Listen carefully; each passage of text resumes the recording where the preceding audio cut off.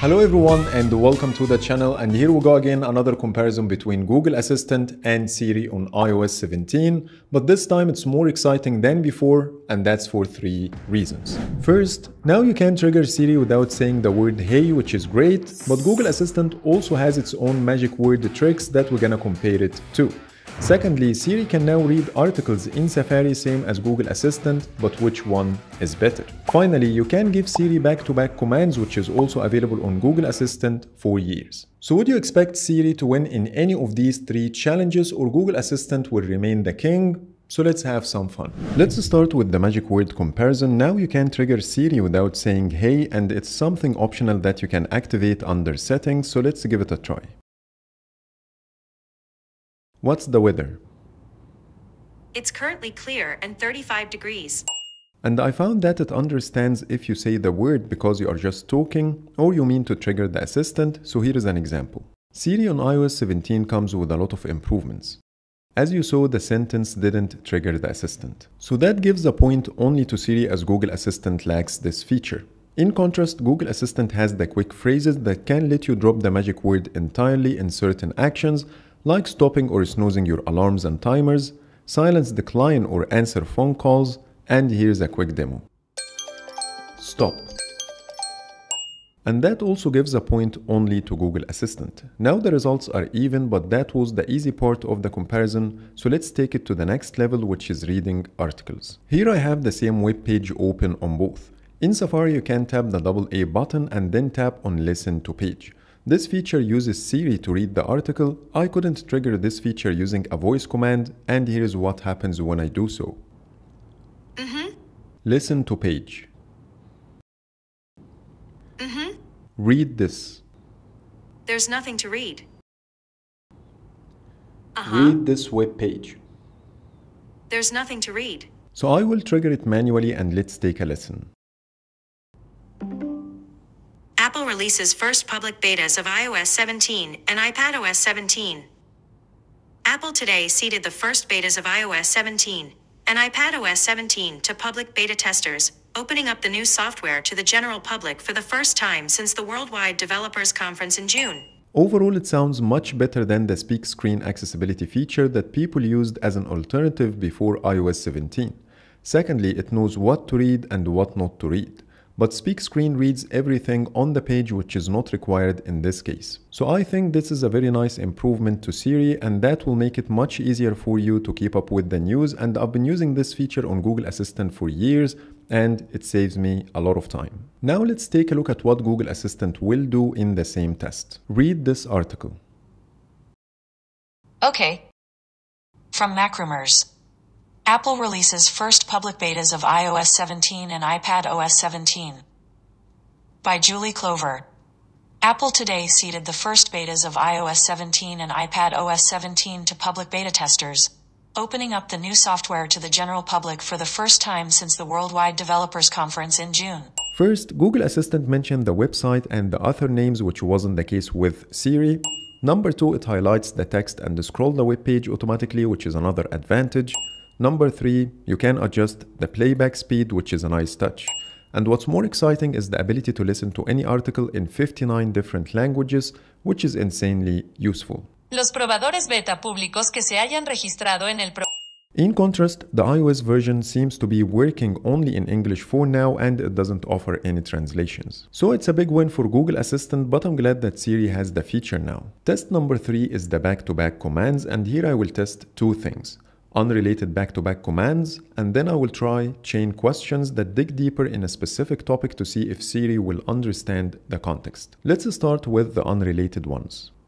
Add 35 to 79. The answer is 114. Subtract 10. It's 104. Add milk to my shopping list. Okay, I added milk to the shopping list. Take a note. What do you want it to say? This is a test. Okay, I've created your note. It's called This is a Test. Turn off all lights. Convert $100 to AED. 367 dirhams and 26 fuelis. Convert 179 centimeters to inches. It's 70.47 inches. What's the weather? It's currently clear and 34 degrees. Remind me to call my friend tomorrow morning. Okay, I added call my friend for tomorrow 7 a.m. Tell me a joke. Why did Hermione end up with Ron? He was a keeper. Start the stopwatch. In the last command, Siri opened the clock app without starting the stopwatch and it disappeared entirely, so it takes 9 out of 10. And now let's try Google Assistant. Add 35 to 79. The answer is 114. Subtract 10. The answer is 104. Add milk to my shopping list. Got it. I added milk. Take a note. All right. What do you want it to say? This is a test. Saved your note. Turn off all lights. Okay. Turning off four lights. Convert $100 to AED. $100 equals 367 United Arab Emirates dirhams and 31 fils. Convert 179 centimeters to inches. 179 centimeters is equivalent to 70.472 inches. What's the weather? It's 37 and clear. Tonight, the forecast is around 36 degrees and clear. Due to the current humidity, it feels like it's 48.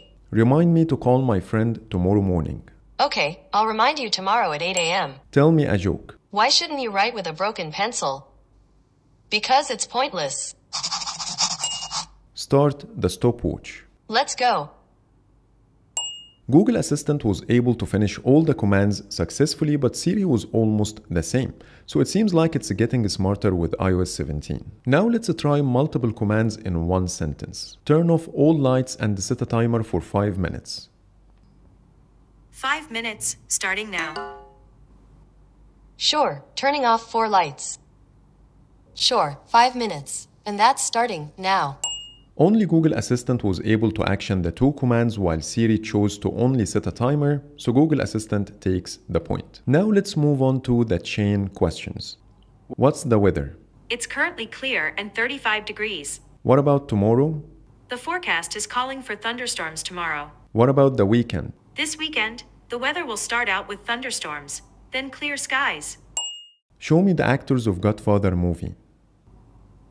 The Godfather features Marlon Brando, Al Pacino, James Caan, and others. Who's the director? The Godfather was directed by Francis Ford Coppola. What's the year of production? What's the year of production? Okay, I found this on the web for What's the Godfather of Production. Check it out. How far is it from Dubai to Abu Dhabi? Abu Dhabi is about 132 kilometers from Dubai by car. What about Ajman? Sorry, I don't understand. How tall is Burj Khalifa? The Burj Khalifa is 830 meters tall. Where is it located? The answer I found is United Arab Emirates. How much is the admission ticket? Okay, I found this on the web for how much is the admission ticket. Check it out. Take me there. I found this on the web. What's the weather? It's 37 and clear. What about tomorrow? It'll be sunny with a high of 42 and a low of 34. What about the weekend? Tomorrow through Sunday in Ajman, it'll be sunny with highs around 42 and lows around 33. Show me the actors of Godfather movie. Here's a summary from Wikipedia. Cast Marlon Brando as Vito Corleone, crime boss and patriarch of the Corleone family. Al Pacino as Michael Corleone, Vito's youngest son. Who's the director? The Godfather was directed by Francis Ford Coppola. What's the year of production? 1972. How far is it from Dubai to Abu Dhabi? It is 146 kilometers to get to Abu Dhabi from Dubai local movers, by car. What about Ajman? 223 C Street is 44.3 kilometers away from Ajman by car. How long does it take by bus? If you leave at 3:40 a.m., it will take you 1 hour and 35 minutes to get there by bus. How tall is Burj Khalifa? The Burj Khalifa is 828 meters tall. Where is it located? The address for Burj Khalifa is 1 Sheikh Mohammed bin Rashid Boulevard, downtown Dubai, Dubai. How much is the admission ticket? Here is information from Thomas Cook. Take me there. Okay, Burj Khalifa. Siri answered the first question perfectly, made it halfway through in the second and last one, but failed entirely in the third. While Google Assistant answered all of them perfectly. So now I'm done with all the questions and that was my comparison between Siri on iOS 17 and Google Assistant. It's still behind but the gap is much smaller than before and I'm excited to see if the stable version will do any better. So that's pretty much it for today. I hope you liked the video and if you do, please hit the subscribe button for more iOS 17 comparisons and see you the next one.